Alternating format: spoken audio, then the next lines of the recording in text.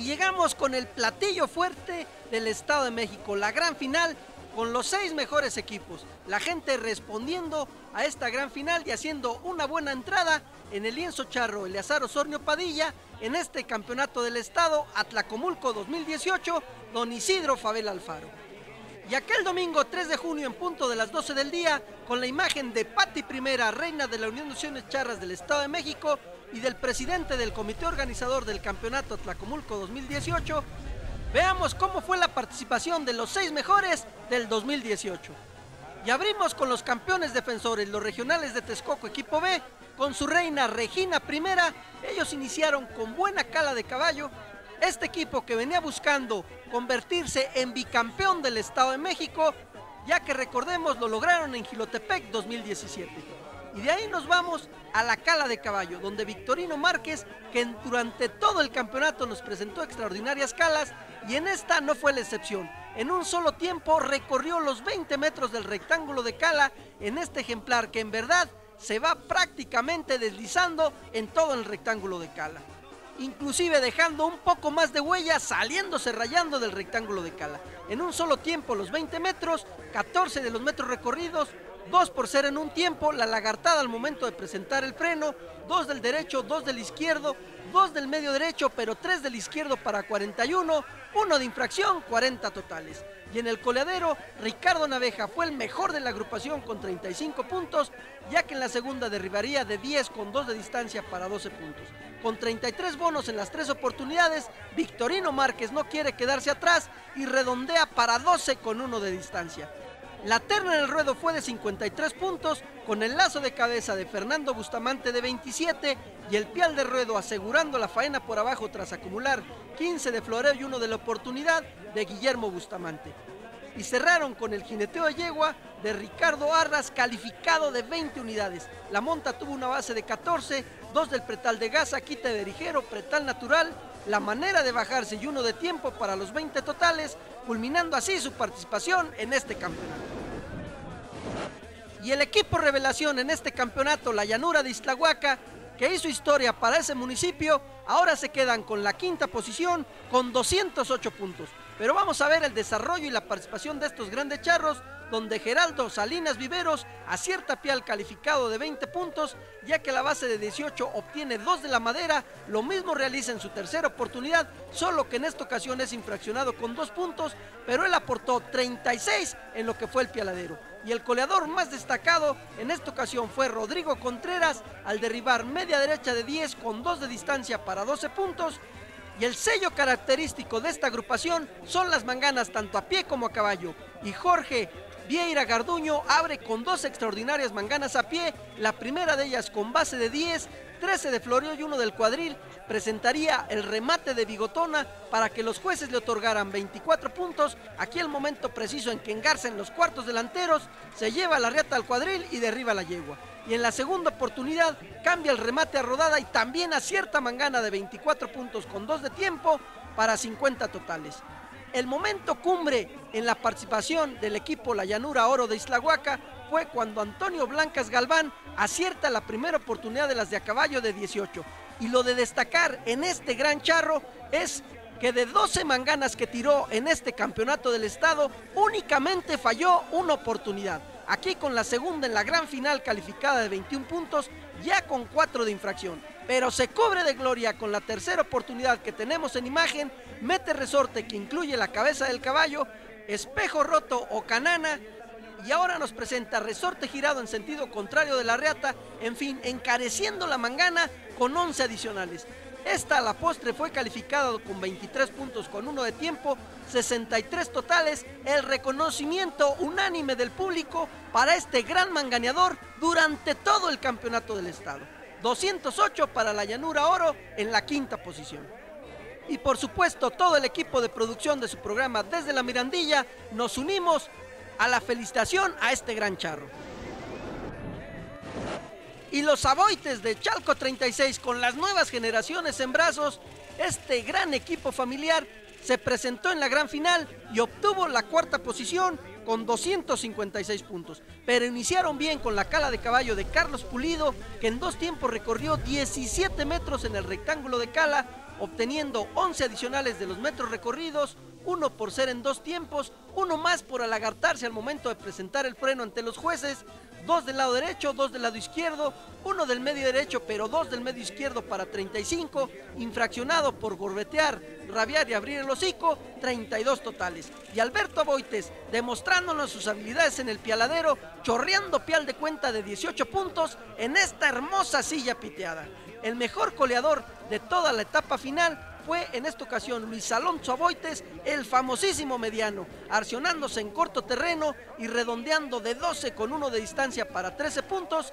En la segunda oportunidad haciendo lo propio, solo que ahora la caída fue de media derecha de 10 pero con 2 de distancia para 12 unidades y se cubre de gloria para ser el mejor de la final con redonda de 14 puntos y 39 en sus tres oportunidades para dar paso a lo que fue la terna, donde sumaron 47 puntos a través del lazo de cabeza de Luis Alonso Aboites de 25 puntos y de 22 unidades Luis Antonio Aboites, asegurando la faena tras acumular 9 de floreo y uno de la oportunidad con 2 de tiempo.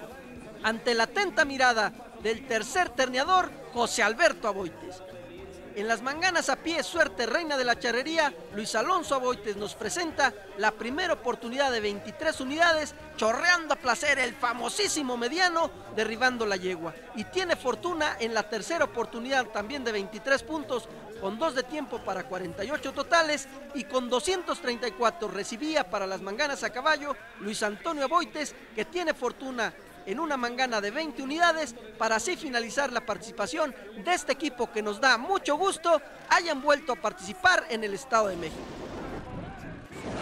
Y un equipo que siempre es candidato al título por la gran presentación que siempre han tenido durante todos los campeonatos, tanto estatales como nacionales, Rancho La Biznaga de la familia Cerón González, que iniciaron con pial del campeón nacional de la categoría AA, Jafid Gil, quien acierta pial calificado de 20 puntos, y en el coleadero Pablo Cerón arcionándose fuerte y derribando de 12 con 2 de distancia para 14 puntos, 31 en las tres oportunidades y supliendo la ausencia de Alejandro Goñi Rojo, Salvador Fernández acumularía media derecha de 10 con 2 de distancia y cerrando la tercia de coleadores también con 31 unidades, Francisco Cerón González, media derecha de 10 pero con 2 de distancia para 12 puntos. 88 lograron en el coleadero y José Luis Amperio se lució a placer en la monta de la yegua que costó 22 unidades, base de 18, 3 del pretal de Gaza. La manera de bajarse es infraccionado con un punto pero también se lleva uno de ahorrado en el cajón. La esperanza estaba puesta ahora en Francisco Cerón González. La biznaga nunca muere y ahora acierta Mangana de 10 con 14 de Floreo y uno del cuadril para 25 puntos. En la tercera oportunidad rematando de contra rodada encontrada con un adicional por ser encontrada y uno del cuadril, se llevaría 26 con 2 de tiempo para 53. Sin embargo, fallaron en las de a caballo, pero cerraron con el paso de la muerte de Salvador Fernández que costó en esta ocasión 22 puntos, convirtiéndose en el mejor de la etapa final y así quedarse con la tercera posición con 289 puntos. Y los charros de Polotitlán se presentaron con todo su poderío. Y en esta ocasión, en los piales en el lienzo, tenemos a Diego Basurto Rodríguez acertando lo que es la tercera oportunidad. Sin embargo, observen lo que le sucede. El poder de la yegua revienta la riata y es calificado con cero unidades. En el coladero aportaron 87, donde el charro Javier Basurto hizo los primeros 30 puntos en sus tres oportunidades, seguido de Isaac Padilla, quien ahora se convierte en el mejor del equipo con 32 unidades, la primera oportunidad calificada de redonda de 12 con 1 de distancia. Y cerrando la tercia de coleadores, Javier Basurto Estrada con media derecha de 10 pero 1 de distancia para 11 puntos, aportando 25 a la causa de los de Polotitlán. La terna en el ruedo se convirtió en la mejor de la gran final ya que Diego Basurto Rodríguez acertó el lazo de cabeza de 29 y la manera de rematar de Isaac Padilla Guillón, calificando para 31 puntos, 60 totales, la mejor terna presentada. Y el momento cumbre de la competencia vino cuando el actual campeón del charro completo del Estado de México, Isaac Chas Padilla, acierta la primera oportunidad con base de 10, 13 de floreo remata de bigotona vistosamente, se lleva la riata al cuadril y esta mangana le fue calificada por los jueces del Colegio del Estado de México de 24 unidades. En la segunda oportunidad, cambia el remate a rodada para evitar la descalificación y también consuma mangana de 24 puntos, acertando, llevándose la riata al cuadril como todo un profesional y derribando la yegua. Y se cubre de gloria con la tercera oportunidad, calificada también de 24 puntos con dos de tiempo para 74 totales, siendo el mejor manganeador de la gran final. Y en las de a caballo, Diego Basurto cumplió con una de 20 puntos con dos de tiempo, para que en el paso de la muerte Raúl Rulo Basurto lo consumara en esta ocasión de 21 puntos, asegurándolo ya que sabían que requerían de los puntos 317 y a la postre se quedaron como subcampeones del Estado de México. Pero eso sí, logrando su clasificación con el boleto reservado para el campeón del Estado de México en forma directa, ya que Fuerza Mexiquense logró su pase a Zacatecas 2018 por ser semifinalista en el año 2017 quienes antes de esta gran final ya contaban con seis coronas en el Estado de México y dos en la entidad de Querétaro. Pero vamos paso a paso con la participación de Fuerza Mexiquense, ahora con la cala de caballo de Pedro Aguilar, que si bien todas sus participaciones durante este campeonato, sus calas no bajaron de 40 puntos.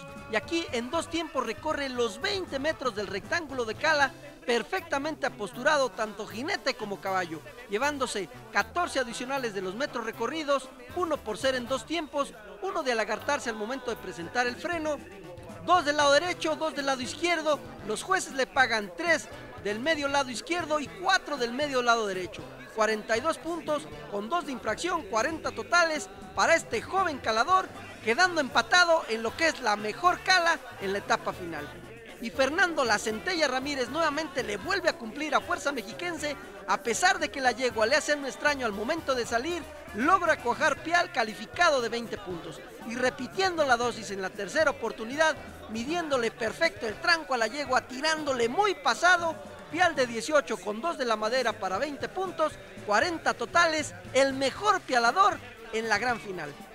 Y otro título para Fuerza Mexiquense, ya que se convirtieron en el mejor equipo en el coleadero al acumular 106 unidades, donde Rafael Osornio Cruz derribaría redonda de 12 con 1 de distancia para 13 puntos en la segunda oportunidad y en la tercera llenándose de toro con redonda de 12 con 2 de distancia, 14 puntos 36 totales. Sin embargo, la marca se vería empatada por el contador público Rafael Osornio Sánchez, quien también coleó caro para 36 puntos, la primera de 14 unidades y en la tercera en la cual se cubre de gloria, también redonda de 12 con 2 de distancia, 14 puntos y 36 totales.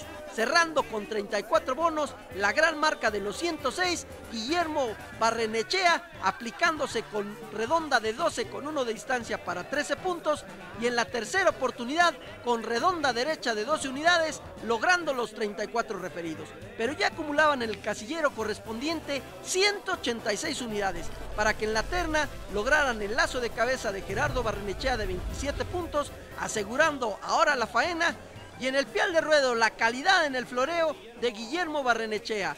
Realiza resorte girando en contrasentido de las vueltas de la riata y la manera en que levanta para meter resorte que incluye totalmente la cabeza del caballo, en fin, acumulando 15 de floreo y rematando por arriba de espaldas al toro con cuatro adicionales, uno de la oportunidad para cerrar en 31 puntos, ya que obtuvo uno de tiempo rado. Y Javier González levantó al público en verdad de sus asientos con esta jineteada que fue clasificada como excelente partiendo de 22 4 del pretal de Gaza para 27, es infraccionado con uno por descomponerse durante los reparos, pero se lleva 26 unidades, la mejor jineteada de la etapa final. Y en las manganas a pie, Luis Rugón disponiéndose a ejecutar su primera oportunidad, mete mangana de 10 con 13 de floreo y uno del cuadril para ser calificado de 17 puntos, ya que fue infraccionado por el tercer tirón y por apoyar rodilla y mano en tierra. Le costó la mangana 17 unidades, pero en la tercera se saca la espina. Ahora para ser adicionado con 24 puntos y uno de tiempo para 41 totales. Y con 325 recibió al equipo Gerardo Barrenechea para las de a caballo. La primera oportunidad fue calificada de 28 puntos, 14 con 14 de floreo y en la tercera que remata de bigotona, mangana de 12 pero con 14 de floreo para 26, dos de tiempo 56 totales para 381 justo antes del paso de la muerte, del cual se encargó en esta ocasión Javier Ávila para ser calificado de 22 puntos ya que le brinca en el segundo cuarto y cerrar como campeones del estado con 407 puntos. Felicidades a la familia Osornio Cruz que con esto logran que en los años 2003, 4, 10, 11, 13, 14, 15, 16 y ahora 18 se convierten en campeones del estado. No solo del mexiquense, sino también del queretano. Una vez culminada la gran final, se realizó la ceremonia de premiación. Pati Primera entrega a Pedro Aguilar su tercer lugar en Cala de Caballo. Javier Basurto entrega a Jafid Gil el tercer lugar en lo que fueron los piales. El Pue del Estado, Toño Alemán, entrega a Victorino Márquez su tercer lugar en colas mientras que la reina Pati I entrega precisamente a Juan Antonio Alemán Pérez el segundo lugar en el coleadero. Alejandro Martínez Bonifacio recibe el premio por su segundo lugar en el jineteo de toro, mientras que el principal organizador, Alan Nava, entrega el primer lugar de jineteo de toro a Pedro Carranza. Paco Cerón recibe el tercer lugar por el lazo de cabeza, Antonio Blanca recibe el segundo en la misma suerte y ahora pasa Alejandro Martínez Bonifacio a recibir el reconocimiento como campeón de jineteo de yegua. Jorge Vieira se conformó con el tercer lugar de manganas a pie. Los grandes organizadores entregaron a Carlos Casasola su campeonato de manganas a pie. Fernando Bustamante recibió el segundo de manganas a caballo. Otro de los organizadores, Juan Manuel Ruiz Bastida, entrega al orgullo de la llanura de Islahuaca, Antonio Blancas, el campeonato de manganas a caballo. Y hasta Chalco 36 se llevó el primer lugar Armando Rayón en el Paso de la Muerte. Y en la categoría por equipos, todo el comité organizador y los flamantes anfitriones entregaron los reconocimientos correspondientes, sin olvidar al Consejo Directivo de la Unión de Naciones Charros del Estado de México. Así que los regionales de Texcoco equipo B pasaron por su sexto lugar estatal, el Orgullo de Islahuaca, la Llanura equipo Oro por el quinto lugar, el equipo de Chalco 36 de los Aboites por la cuarta posición en tercer lugar, el equipo de Rancho La Biznaga de la familia Cerón González. Los subcampeones y clasificados en forma directa Zacatecas 2018, los Charros de Polotitlán. Bien acompañadas sus escaramuzas de Rancho Nuevo, capitaneadas por nuestra compañera Gaby Basurto Estrada. Y por supuesto, los nueve veces campeones estatales, Fuerza Mexiquense de la familia Osornio Cruz. Y Alan Nava, el presidente del comité organizador, dirigió emotivas palabras a todos los participantes de este 38 campeonato del Estado de México, así como al público que asistió durante tres meses a este campeonato del Estado en todas sus categorías. Y por supuesto a la familia Osornio Cruz por las facilidades otorgadas y el buen funcionamiento del lienzo charro Eleazar Osornio Padilla. El PUA Juan Antonio Alemán fue el encargado de clausurar este exitosísimo campeonato del Estado, en honor a don Isidro Favela Alfaro Atlacomulco 2018, que por supuesto se vio mejor desde la Mirandilla. Hola, ¿qué tal amigos de la Mirandilla? Les mando un abrazo muy fuerte desde aquí, desde Querétaro, su amigo Eric Sánchez. Es un placer colaborar con todos ustedes en todos los proyectos que se han llevado a cabo en este 2018. Les deseo todo el éxito para este 2019 que tengan una excelente, feliz Navidad en compañía de todos sus seres queridos y eh, esperando que el próximo 2019 se lleguen a dar todos los éxitos